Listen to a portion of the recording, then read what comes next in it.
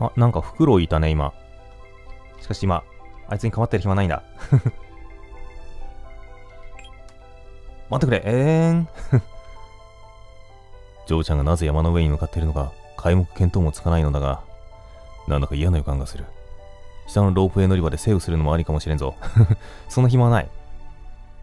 ジョーちゃん、あんたやはり、人間じゃないんだな。前々からどうにも身内のような感覚があった。もしかして、ジョーちゃんの正体は、いや、ジョーちゃんは今人間なんだもんな。そんな話はしない方がいいか。とにかく何をするにせよ、わしはジョーちゃんの味方だぞい。頑張るぞい。それだけは忘れんどくれ。なんだこれ？箱だ。ん、なんでこの箱がここに？ジョーちゃんさあ、ポチ。さあ、集めた妖怪の力を使って、君の願いを叶えよう。ファミチキください。はあ？さあ。カラス。お前か。いや、無理でしょ。残り時間1時間しかないし、なんかダメージ食らったら1時間経過とかなるでしょ？もうダメだ いやあ、二口。ご苦労様。二口の活躍もあって、こうして無事魂が集まったよ。これは、ああ、やっぱり、ちまきを利用して、妖怪は本当は、その食ってなんだろう、封印とかじゃなくて、善良な存在なんだけども、こうやって集めさせられてたってわけか。僕と彼女の操り人形としてよく働いてくれた。感謝してもしきれないよ。なんだと、嬢ちゃん。さあ、もういいだろう。集めた魂を解放し、夢を作り上げよう。ボタンを押すの忘れちゃってエコーがかかってなかったよ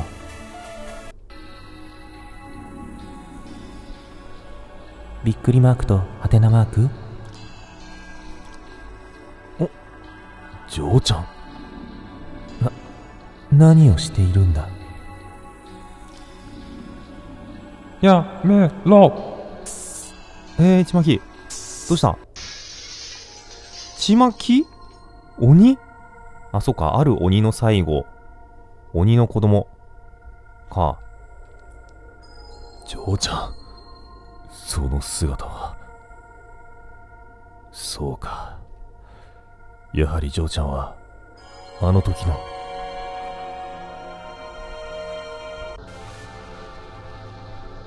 夢を壊したな。君は人間でいたくないのかずっとあの男と一緒にいることが君の夢だったんじゃないのか夢が解けてしまえば君はもうただの妖怪。人間とは釣り合わない。化け物なんだよ。あれかちまきがこの夢という結界の中にそのね好きだからって大切だからってあのなんだっけ山下じゃなくてえっと磯塚 散々話しておきながら、を閉じ込めていたって感じなのかな、町ごと。やめろ嬢ちゃんは化け物じゃない。それで、いいのかい？てんてんてん、てんてんてん、丸。迷いが見える。君の中にそれがある限り、僕は君の願いを叶える。君が諦めようとも。おっと、X ですの、あの次元の狭間に閉じ込めちゃうぞ、ゾーンみたいな、出てきた。おジャグン、ジャグン、ジャグン、ジャグンってあの、ぬわーヌアス、パパー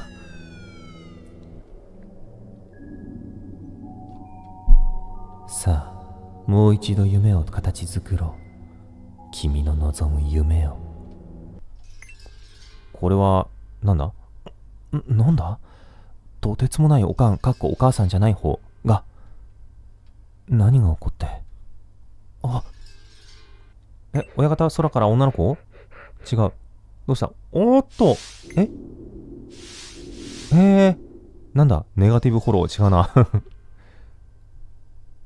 うんなんだ？悪霊が町の人を襲ってる。あ、あどうすれば？どんどん。いい、逃げなきゃ。NHK です。お、ふと思い出すちまき。ちまきくん。ちまきくんはどこにいるんだ？思い出した。くそ。探さなきゃ。彼女を、助けないと。磯塚パートかな？ソルト。悪霊とか塩でなんとかなるだろう。なんかアニメで見たぞ。ソルトスプラッシュってやつ。ああ、やっぱり磯塚パートだ。金庫のナンバーを忘れないために飾っている絵だが、もう意味がわからない。ちまきくんなら番号がわかるからいいだろう。ええここになんか書いてあったのか？ヒントが。ちょっと食ってから行こう。ちまきくん、どこに行ったんだ？しばらく放置してあるからな。やはりこれがないとな。調味料、調味料。冷蔵庫の中お、塩はなかったが、塩コショウはあった。なんとかなるの？それ。よし。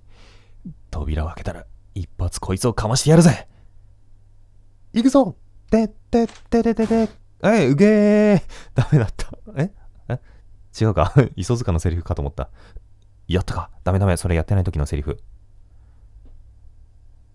お前、後で、ぶん殴る。ひえ。は、はい、すいません。って、札くれたおっさんじゃん何しに来たんだっていうか、札くれ。ああ、もううるせえな。そんなことは後にしてくれ。ああ、びっくりした。悪霊にかかってて そういう乗っ取られ台詞かと思ったけども。そんなことよりも、お前のところのお嬢さんはどうした？お嬢さんえっと、ちまきくんのことか？やはりお前も精神的な干渉を受けているようだな。この町の住民は皆そうだ。巫女さんは大丈夫なのかな？ちょっと神聖バリアがかかってて。それとも名前を思い出せるあたり、それだけ絆が深いのか、何なのか。まあ、それはいい。で、そのちまきちゃんとやらは？いや、ここにはいない。どこかに出かけていった？なんだか思い詰めた表情をして。うむ、やはりか。もしかするとこの騒動、そのお嬢さんの仕業かもしれねえ。そんなバカな。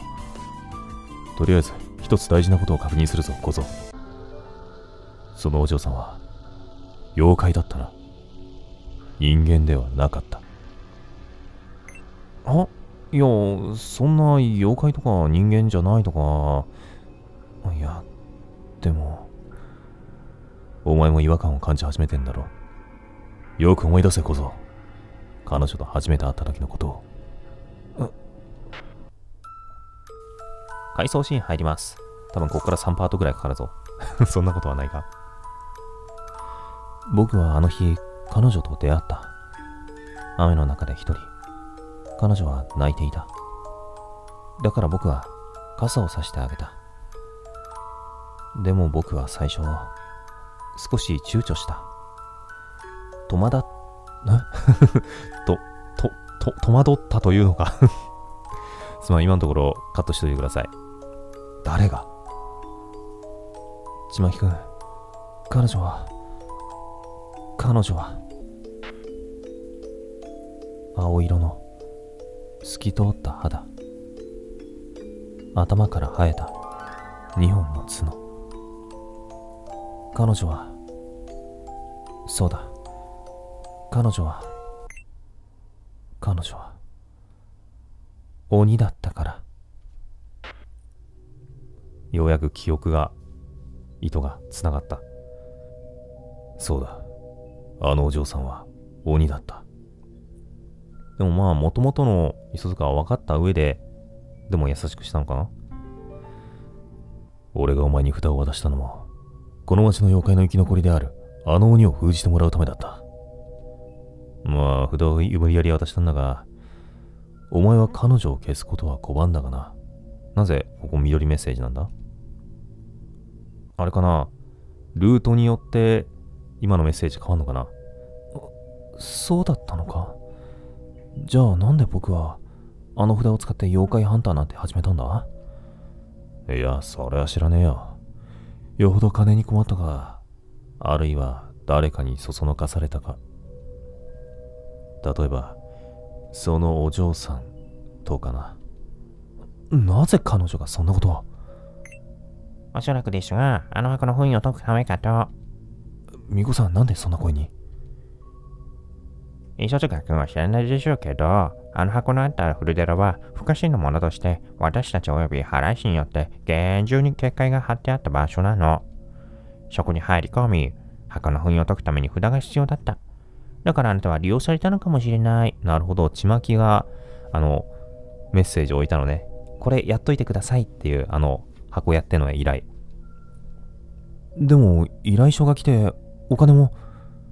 まあ、十中八九。あのお嬢さんが書いたものだろうよ。金は幻かもしれないがな。あらまあ。幻。ちまきくんは、記憶なんかも操作できる鬼ということなのか？いいえ、鬼にはそんな力ないの。彼女を裏で操っていた妖怪がいたってことさ。さっきのカラスか。やはり、通称カラス。以前この土地の妖怪どもを食らい尽くし、強力な力を持って大規模な騒乱を巻き起こしたやつだ。私たちは一致団結して彼を滅ぼそうとしたんだけど、力が強すぎて、あの箱に封印することしかできなかった。だけどそもそもカラスは体を二つに分けてたみたい。阪神は封印されず、私たちも彼のことが気がつかなかった。この国の妖怪じゃないらしいんだが、どうやら夢を叶える妖怪らしい。以前の騒動も、騒動も妖怪どものチェケラが欲しいという欲望に応えたんだそうだ。だから、おそらくお嬢さんをそそのかしたのはそいつは。おそらく彼女は人間になりたいとでも願ったんだろうよ。だからこの町の全ての人が彼女を妖怪と認識しなくなった。不都合な記憶は曖昧にされ改ざんされた。その力は強い。この町に入り込んでしまえば、その影響を受けてしまう。俺も少々混乱した。だからか、それにしてもさ、このシリアスタイムの おっさんの目さ、もう何かに乗り移られた、むしろ妖怪だろって目してんな。しかしその力も薄れてきているようだ。この何日か何日かでその力を衰え始めてる。なるほど。30日過ぎ、31過ぎちゃうと、うん、弱まって、結界がほころびって形ね。で、50だと、もうさすがに無理っすってなって、ゲームオーバーと。お嬢さんの夢は終わりを迎えようとしているんだよ。だからカラスは箱を狙った。あそこに封じた膨大な力を使ってもらう。使ってもう一度、ちまきちゃんの夢を叶えるために。町のみんなの記憶を改ざんしようとしている。あれは、記憶を改ざん中ということなのか？というわけだ。妖怪ハンターくん。我々は何としても、あのカラスって妖怪を封じなきゃならねえ。これよ。え、俺かよ？あ？俺はもう結構年なんだよ。体が動かねえよ。そんな中で札の扱いに長けてるのはお前しかいねえじゃないか。妖怪ハンター名乗ってたんだろうが。それに、あのお嬢さんは、お前さんの管轄だろうが。他の奴に譲ってもいいって言うなら、わかったよ。やるよ。湧いたよ、磯塚くん。よし。じゃあ強い陽気は山の方から来ている。山の頂上に向かうぞ、小僧。ロープウェイ徒歩 あ あ。あははははにょにょにょにょにょちょーっと待ったーどうした？そんな屋上にいて、未成年の主張でもやんの？あの学校へ行こうさ、俺の中学校でね、基礎だった時あったんだけど、校長が断っちゃって、隣の中学校に行っちゃった。うん。懐かしい。でもね、俺のいた中学校ね、屋上らしくない屋上だから、うん。あそこでね、やるのね、危なかったと思う、正直。話は聞かせてもらった。仕方ねえから、俺も手伝ってやるぜ。え、何？聞こえない？って。そんな感じではないか。というか、こういう話はまさきに俺にするのが通じるもんじゃないのか？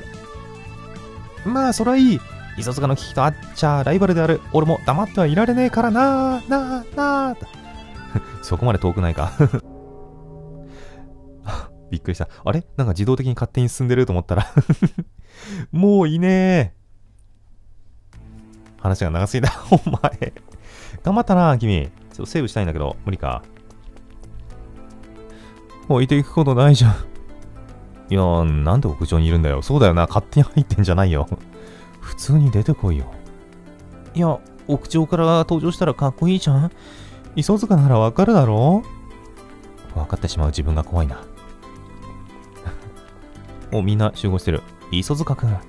なんだか君に会うのが、もう懐かしい感じがするね。なんだか雰囲気も違う。昔の君に戻った感じだ。みたいだ。これが終わったら、たまには飲もうや。ああ。私たちは、他にも町の人たちが襲われてないか確認してくるよ。襲われてしまった人たちも回収しなきゃ。頑張って、磯塚くん。こっちはいけないか。皆さん頑張ってください。ここら辺にいると、おっさんもいることあって、ちょっと、あれかね、結界ない結界というか、まあ、単に集めてるだけか。基本的にはお前に任せるぞ。あのお嬢さんのことについては、お前に全て任せると約束さ約束させられたからな。はそんな約束したかな？したんだよ。俺はそれに心を打たれたりしたんだがな。この土地にかかってる呪いのせいだな。いろいろ忘れているのは。じゃあ俺が金金言ってたのも、それは本心だろ。ガガーングーま、大事なものをなくしたから、本心だけ残ったのかもな。ん？ふぅ。申し訳ありません。ロープウェイは現在使用できません。これで登るとね、あっという間に登れちゃってなんか味気ないから、一歩一歩踏みしめて、そこの登山道をゆっくり登ってください。巫女さんたちの言う悪霊？とかいうものに絡みつかれてしまったみたいで、あらまあ。うん、仕方ねえ。動きにくい道に攻めてこられたら、それこそ危ねえからな。どこで行くぞチャリで行こう まあ、登山道、チャリで行くのは危ないか。あの小娘、やはり何か企んでやがったか？俺の夢は正解だったみたいだ。ちまきくんに会ったのか。あ、あ、あ、トラウマが。何やら頭に二口妖怪みたいなのを乗せて妖怪を食って回っていた。おそらく箱から飛び出して妖怪を集める必要があったのかもな。自分の夢を叶えるために。そうか。それ以外は、知らん。ん？あ、メッセージ変わったりはしない？あ、ちょっと変わるか。ちまきくんと何かあったのか？知らん。登りますか。でもよかった。時間経過なくなってて。うん。もうエピローグというか、そんな感じだから、あの時点で、あの時間でボス戦始まってたらきつかったもんね。草陰に気をつけろ。あいつの放つ悪霊がどこかに潜んでるかもしれねえ。捕まったらそこでしまいだ。えー、セーブしたい。ま、俺は気合でぶっ飛ばせるがな。このおっさん一人で十分なんじゃないか あの、ウルトラマンの漫画だけかな？あのパロかな？もうあいつ一人で いいんじゃないかなって。仮面ライダーの方だっけ？どっちだっけかな？やれんこともないが、寿命が縮むんだよ。俺は長生きがしてんだ。さあいいですか？草影本当になんか飛び出してくる？草むらからなんかポケットなモンスターとか出てくるかね？こっちじゃない？いけなかった。でも札があるからシュパシュパっていけんじゃないか。あおっとあ、切れた。勝手にやってくれた。そして、あ、あ、ここって、ちまきのお家でもあったのか。だからお家に帰ろうって言ったのは、なるほど。ちまきのお家へっていう。これが、お師匠さんの方かな？なんだよ、こいつが思った以上に強えじゃねえか。もうやめよう。妻の血を止めたいんだ。が、我々は何もしていない。人間と仲良くやっていたじゃないか。うるせ。もうそんな時代じゃねえんだ。お前らみたいな化け物を生かしたおかげにはいかねえんだよ。ここの人間はぬるい。化け物は必ずこの地に災いをもたらす。ここにどれだけの妖怪が集まっていると思ってる。必ず最悪が起きる。そんなことは起きない。いいから落ち着け。ビクル、ビクル。話を聞いてくれ。俺は正しいことをしている。これ以上人間の言葉を喋るな。気が散る。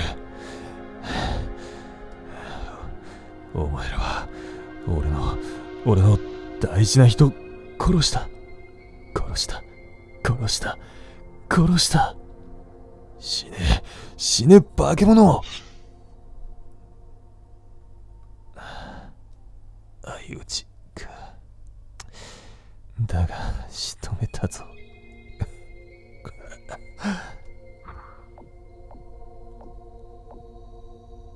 お父ちゃん。